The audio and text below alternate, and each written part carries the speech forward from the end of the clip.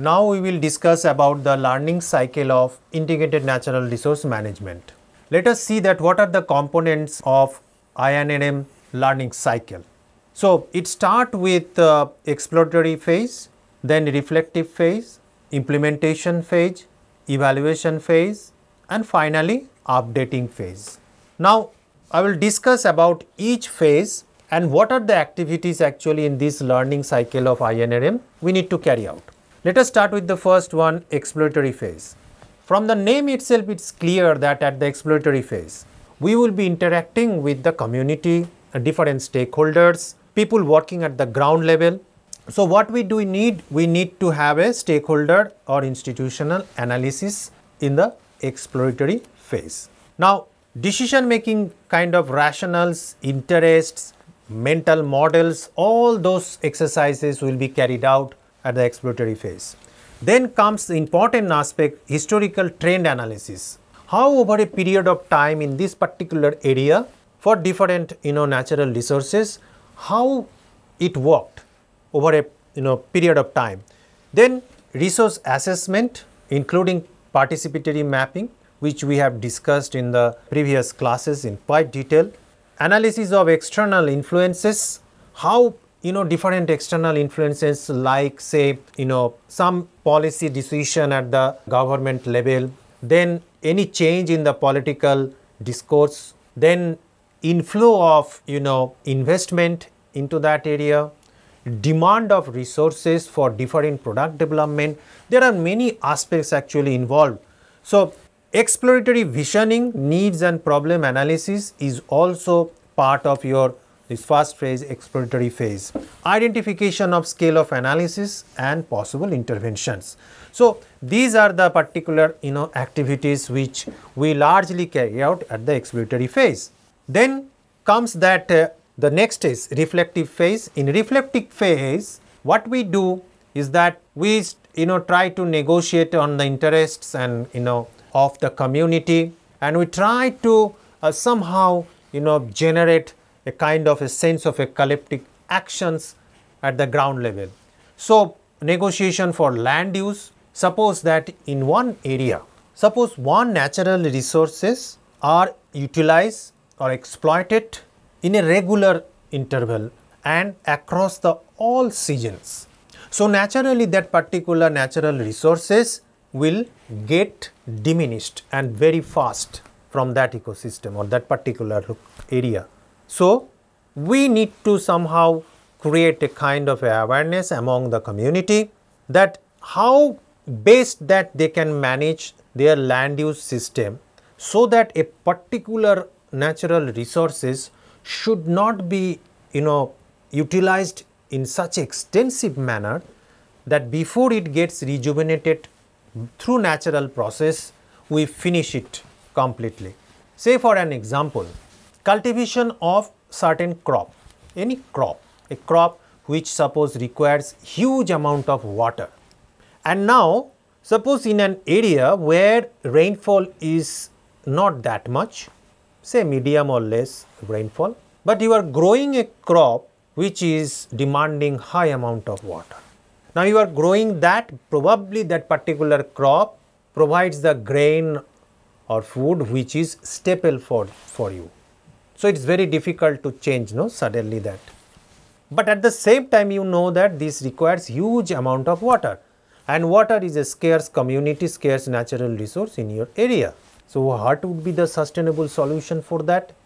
The sustainable solution probably could be that you have a balance in your land use instead of growing that particular water demanding heavy water demanding crop continuously probably you can have a crop mix crop mix which all has less you know uh, water demand so during that period when you are growing the less water demanding crops you can actually concentrate or focus on enhancing or recharging the water base in that particular area. So, that could be one way actually to, to you know address these issues.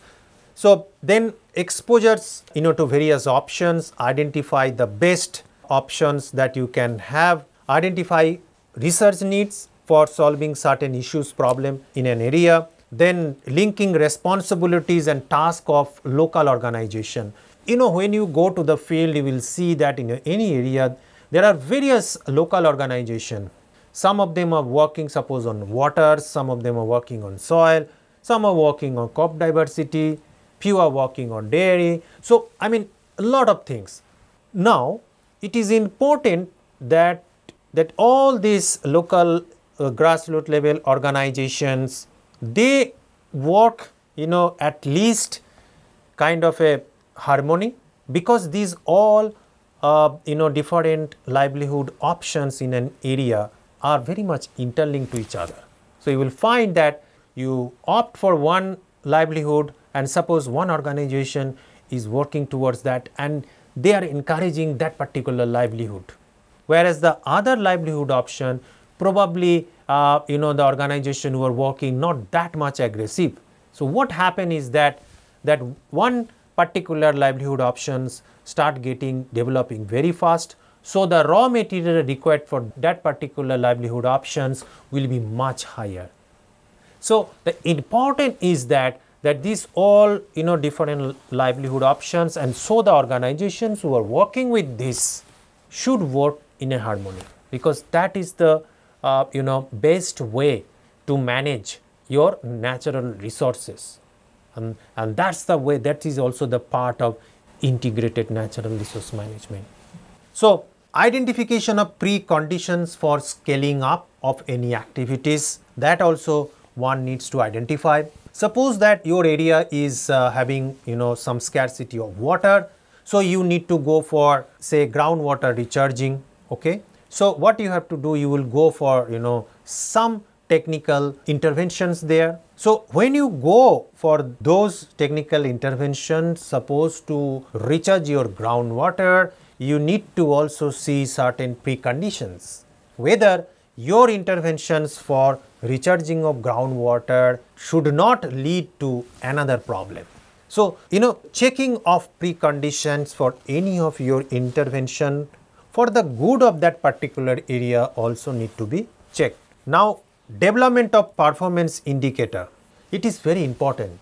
Suppose we are working in an area for months and years, but there is no way, no way that we can actually, you know, identify that how much we have progressed from point A to point B or point A to minus towards negative side.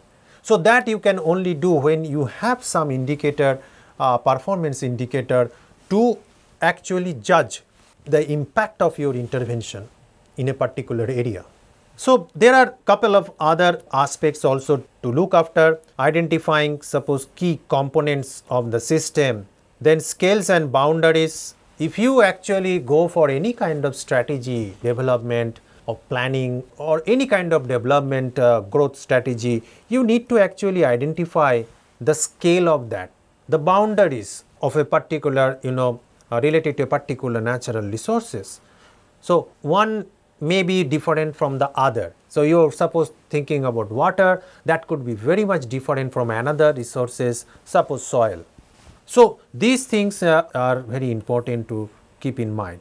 Develop throwaway uh, models sometime it is important to have some uh, few throwaway models also in our hand and then scenario analysis and identify leverage point. So, whatever uh, conditions that we are working, we also need to find out that suppose that there is a change in future. In anticipation of that change, we also need to find out our requirement, the potential requirement of natural resources uh, by the community or the area. So, those futuristic analysis scenario analysis are also important for a long term plan which actually uh, could facilitate the sustainable you know development of a particular area. Then comes uh, you know your implementation phase all of us we know that uh, implementation of any kind of initiative at the ground level is a big challenge.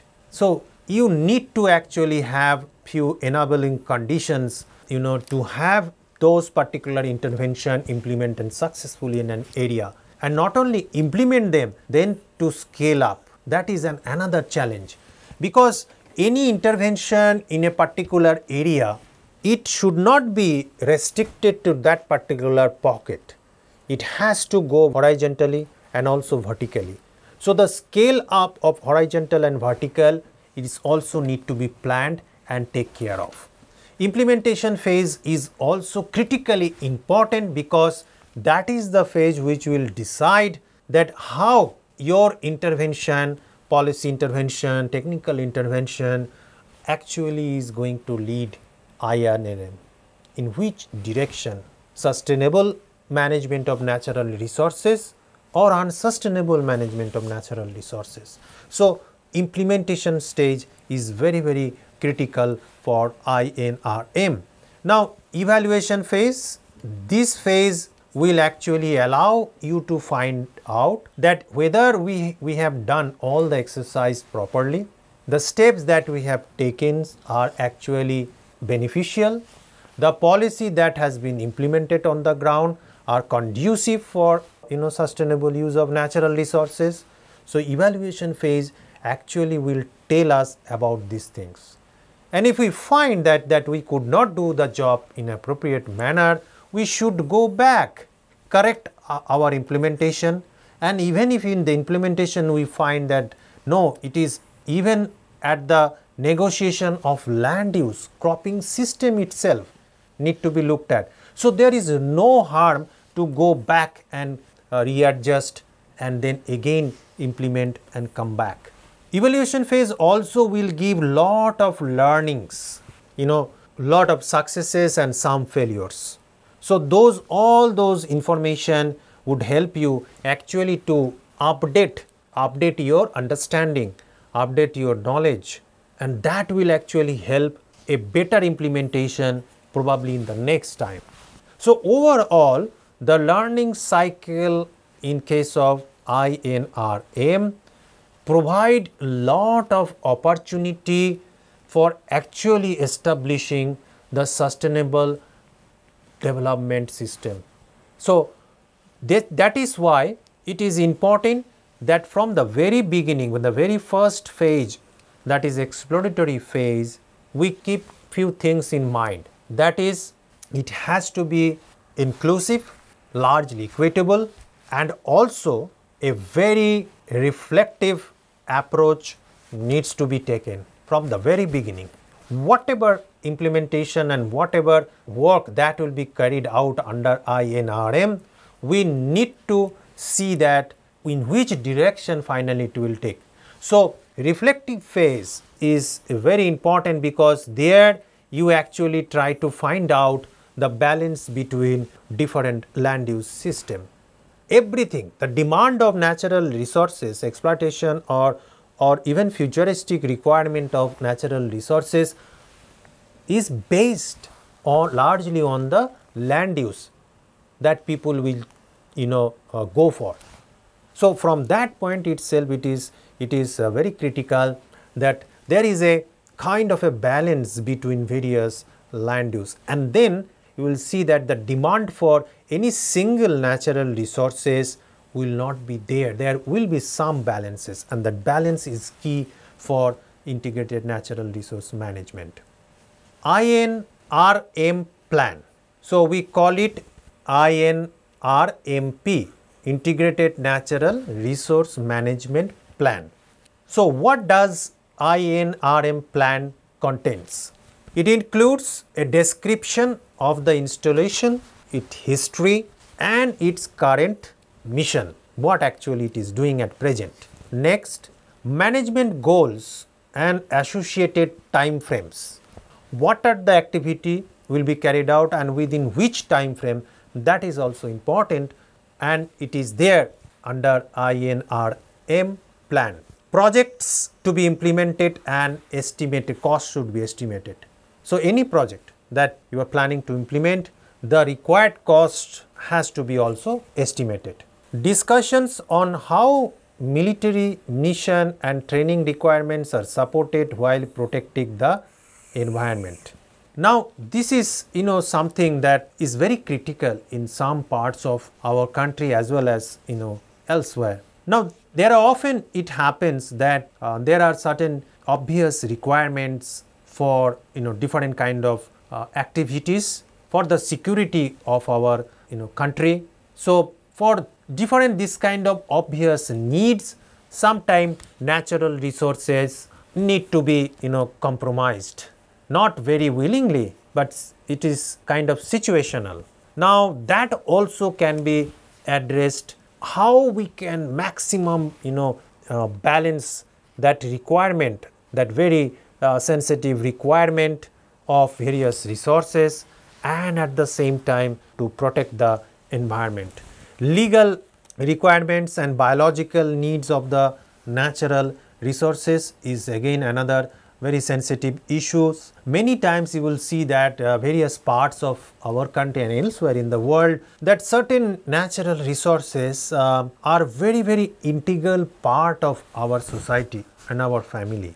Now the biological the needs of those natural resources in our you know biological system is certain certain amount of kind of association with our lifestyle our you know mm, what you call very existence in some parts or some culture is that totally dependent on certain natural resources. You cannot just separate uh, you know those natural resources from uh, a particular community uh, in certain areas. So, that is also another thing that uh, integrated natural resource management plan should have in their mind. The role of installations uh, natural resources in the context of surrounding ecosystems is, is also important. Um, suppose you are suddenly um, uh, building something in an area where which is surrounded by very rich uh, biodiversity or maybe you know full of biomedicinal uh, plants and then you you have a installation which perhaps is is very very important uh, from a point of view for the human well-being itself, but it is also need to be seen that how in the context of that particular ecosystem, in the context of the natural resources that are available in that ecosystem, how they are actually going to get impacted that also need to be seen. Now, input uh, from fish and wildlife services, state fish and wildlife agencies, and also general public, they also need to be considered in this planning exercise for integrated natural resource management. A lot of uh, people, you know, in our country as well as elsewhere, they actually survive on uh, fish and different kind of wildlife services.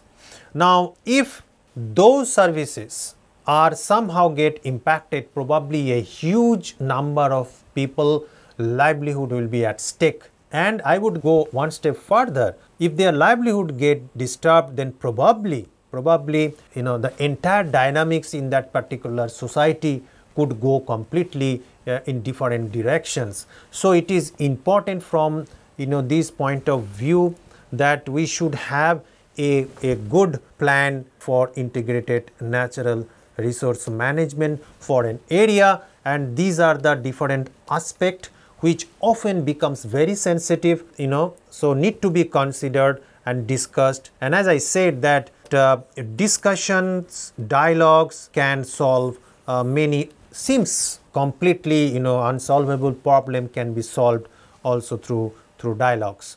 So, that is one aspect that integrated natural resource management encourage us to do. What are the utility of this integrated natural resource management plan? If you see that in case of fish and wildlife management, then land management, forest management, fish and wildlife oriented recreation also, INNM plays a very important role. So, fish and wildlife habitat as I said earlier also, you know, it can be uh, managed in a nice way if we follow the INNM rules. It can actually enhance the lively associated livelihood to these uh, resources. Wetland protections I mean all of you might be knowing that how important is wetland you know in our ecosystem. So restoration of wetlands uh, because that wetland actually also support uh, various fish, wildlife and plants. So that also need to be there in the in the plan. Integration of and consistency among the various activities that actually are conducted under INRM plan also need to be looked at. So, any kind of activities carried out in INRM should not happen actually in isolation. There has to be a kind of a uh, what you call one uh, aspect of INRM if it is being uh, carried out, the other aspect also should be you know uh, equally given importance. Now, sustainable use of public natural resources to the extent that use is not inconsistent. Okay. So, means as I said couple of minutes back that it is important that balanced use of natural resources like you know forest, fish, wildlife is very very critical. Public access to certain military installation that is necessary and appropriate for the use is subject to requirements necessary to ensure safety and military security. Now, these installations of military unit you will find often in very remote area inside a forest sometime in an area where biodiversity is very rich. So, those areas also need to be kept in the INRM plan that how to how to adjust that little bit of disturbances of due to these installation in you know within that particular uh, ecosystem. Now, enforcement of applicable natural resources laws and regulations is very very important. How you know good the different existing law and regulations are being implemented on the ground can actually uh, be crucial for successful implementation of INRM. No net loss in the you know capability of military installation lands uh, to support the military mission of the installations also need to be kept in mind. So, these are couple of you know utility that uh, INRM plan uh, provides. So, this also uh, looked at also place to place you have to see that one place probably uh, some of the constituents here working absolutely in the way the way it is recommended for in some areas probably they are not. So, little bit of uh, you know location wise adjustment probably needed. Constraints for upscaling often uh, you will find that if you go for integrated natural resource management you will find that lot of uh, challenges and constraints for scaling up any of your activity or initiative under INRM. Some of them are like absence of upscaling strategies of INRM within the area that you are working sometime create a lot of hurdles for the system to work on INRM. Adequacy in the integration of policy implementation and decision making could be another constant. Insufficient evidence based knowledge for INRM implementation is one critical constraint that often on the ground you will face it evidence based knowledge because if you just you know go and ask a community or someone that stop utilizing these particular natural resources. They may not. So we need to have a certain kind of first alternative option for that. Second that some evidences that if this is the way this particular resources is being used it could lead to there. And if it is used in the other way it could lead you there. So, this kind of evidence based you know knowledge often help the practitioners to convince the community or convince the people the client who actually are going to uh, be there with this resource base in their community. So, there are a couple of more actually constants uh, you will find when you start working at the ground level. Integrated water resource management, water is one of the natural resources and IWRM is also you know is a, a very popular concept. IWRM has been defined as a process which promotes the coordinated development and management of water, land and related resources in order to maximize the resultant economic and social welfare in an equitable manner without compromising the sustainability of vital ecosystem. So, the key word as you find here coordinated development, equitable manner, sustainability of vital ecosystem. So, more or less it IWRM is also working eh, you know with the same philosophy as INRM. IWRM framework, how actually it is you know based on first social equity. It ensures equal access for all users to the water and adequate quantity and quality for a sustainable well-being. That is social equity as IWRM prescribes. Economic efficiency. Why? Bringing the greatest benefit to the greatest number of users possible with the available financial and water resources. So, the maximizing the benefit with the available water resources to the people. That is what is the economic efficiency. Ecological sustainability requiring that aquatic ecosystems are acknowledged as users and that adequate allocation is made to sustain their natural functioning. Means that we need to give proper value to the water as a resources and we also as an users we need to acknowledge that this particular natural resource water if we want them to be available in the coming years and decades in a particular area so we need to manage them in a very judicious manner. So aquatic system management with ecological sustainability mind frame is also critical for its best management. So with this we actually uh, conclude the integrated natural resource management concept, is philosophy, is functioning, is different frameworks, how it works, it different constraints, is life uh, learning of life cycle of particularly INRM, how it works, what are the different phases. So, overall that uh, integrated natural resource management is a kind of a uh, umbrella that actually provide us how actually we should behave or how we should actually take care of the natural resources which are the very fundamental basis of our existence, our sustainable development or sustainable well-being.